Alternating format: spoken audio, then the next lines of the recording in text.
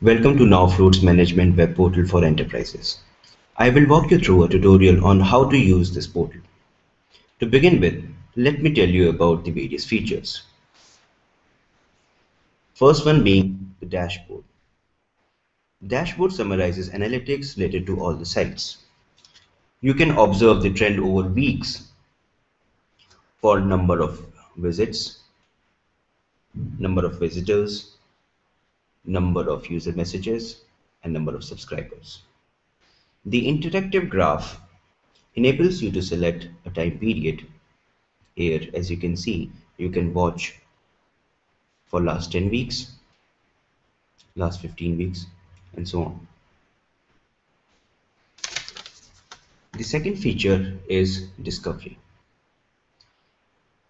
Once you click on discovery, it will show you the search queries that land on your site while an online user is performing a search on a search engine. For example, for this particular store, the first column talks about the search query, second column talks about the day and date on which the search query was made by an IP address which is available on the third column. Moving on to the third feature, which is inbox. Inbox includes the customer inquiries posted through the Talk to Business feature available on the site. And in this, you can see the email address or the phone number of an online user who has posted a query. Moving on to the fourth feature, which is your updates. Your updates showcases all the updates that you have done on the message board. Here, for an individual store, you can see what all updates have happened. In case you want to delete a particular message, you can click on delete this message and the message will be deleted. Moving on to the fifth feature, which is image gallery. Image gallery showcases the featured image on your site as well as the secondary images which are posted on the gallery.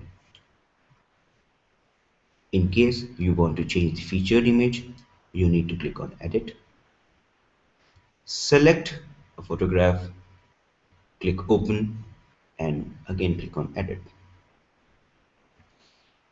You would need to refresh the page in order to see the changes. Though the changes would have been reflected on the site. Coming to the secondary images, if you want to add any secondary image, you can go to image uploader, click on add files, select an image,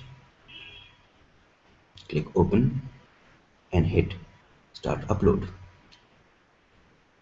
It will give you a prompt successfully uploaded your images to that particular store and if you refresh this page it will appear here. Now let's say you want to delete one of the gallery images. You click on delete. There will be checkboxes you can select all or you can select the image that you want to delete. Delete. The image will be deleted from that particular store. Moving on to the sixth feature, which is manage website. Using this, you can edit details related to your site. So you select an individual store and you can edit the business name, description, you can add or delete contact number. You can very well, let's say the marker location is not correct, you can change the marker location and hit save. You can add store timings, you can add store opening and closing time, email address, Facebook page, and other website details as well, and click on Save Changes. Apart from this, if you want to rearrange some of the web widgets on your site, select a particular store and you can shuffle the location of these widgets and click Save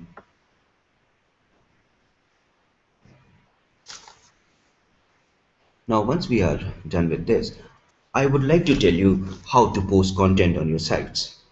For this, first of all, you need to click dashboard, go to dashboard. In that, by default, all stores would be selected. So when all stores is highlighted in orange color, click on the first icon on the top right corner of the portal, which reads like add a new update. Once you click on that, this will open a dialog box below. Here you can write a content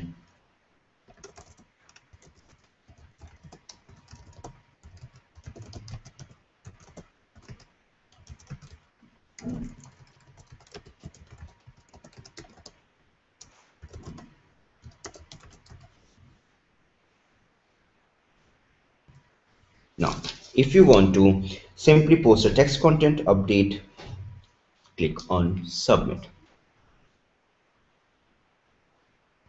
It will prompt you for a confirmation. Say yes. And now this content have been posted on all your sites as well as it has already been received by all your subscribers.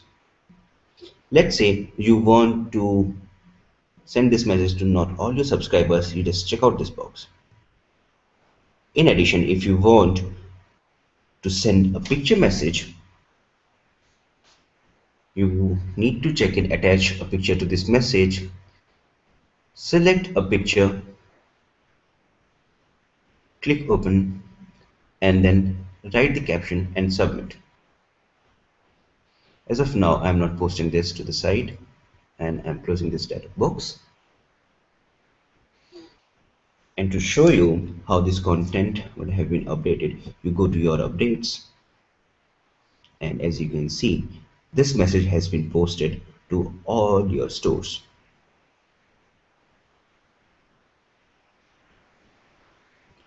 You can also go to an individual store and see this is how a typical site will look like and see. We provide best vehicle services at our stores. It's already updated.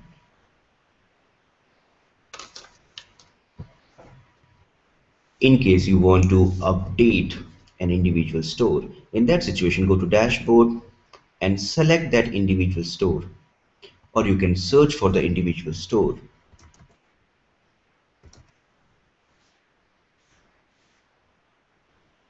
selected and the same procedure. Add a new update and write an update. Click submit. It will only be posted to the selected store. But since this is an enterprise dashboard it's strongly recommended that all stores is selected while you are making any update which will essentially go to all your stores now the second update, content update that you can do is the gallery images. So again, you need to go to dashboard, all stores view is selected and then click on add a new image. Here you can add files,